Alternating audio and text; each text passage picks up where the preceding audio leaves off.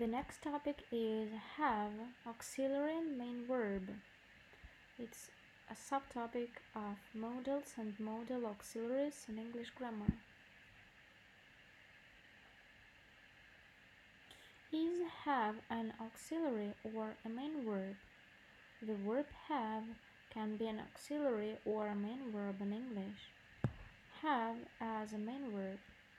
Have as a main verb in the simple present have, has, don't have, doesn't have.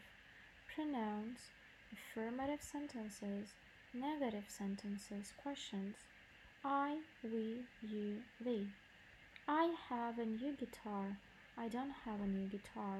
Do I have a new guitar? He, she, it. She has a new guitar. She doesn't have a new guitar. Does she have a new guitar? Have as a main word in the simple past had, didn't have. I, he, she, it, we, you, they. I had a new guitar. I didn't have a new guitar. Did I have a new guitar? Have as an auxiliary and main verb.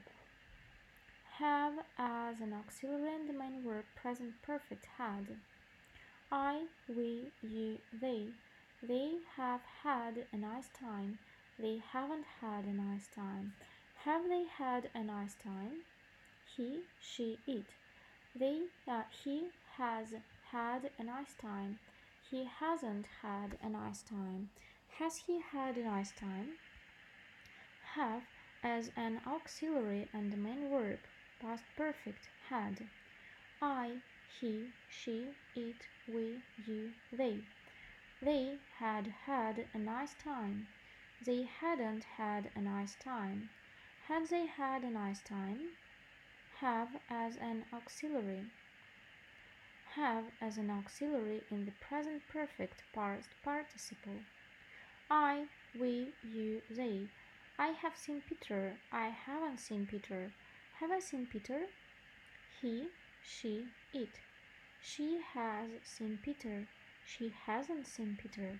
Has she seen Peter? Have as an auxiliary in the past perfect past participle. I, he, she, it, we, you, they. I had seen Peter. I hadn't seen Peter. Had I seen Peter?